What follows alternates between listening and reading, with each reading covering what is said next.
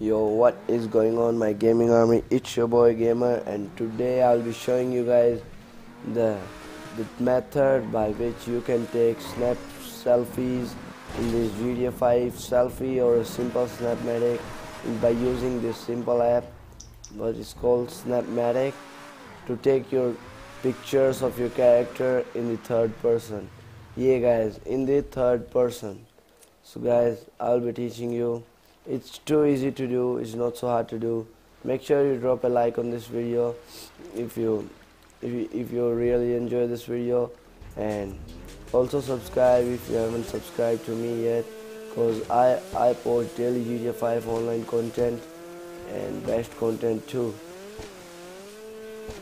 So it's too easy to do the snapshots the snapmatics in the third person now right now I'm driving this ski jet ski for no reason to take a better background of my pictures of my snapmatics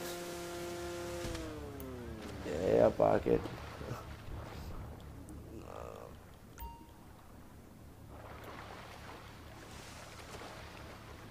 A little bit okay so from here I want to take selfie with my GamerzTube YouTube okay pull out your phone. First. Go bare hands. Go bare hands. Take out your snapmatic and you see it's all simple. You lied. This video is fake. No guys leave it. Now choose this. This switchable switchblade. Like this open your Snapmatic you're good to go. When you press your touchpad nothing happened. It doesn't change the camera angle. But you guys can take Snapmatics like this. Take photo.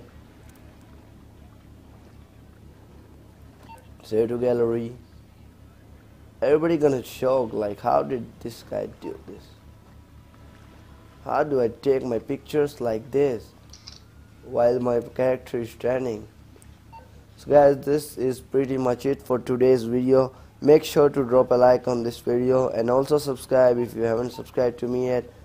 And yeah guys thanks for watching and and peace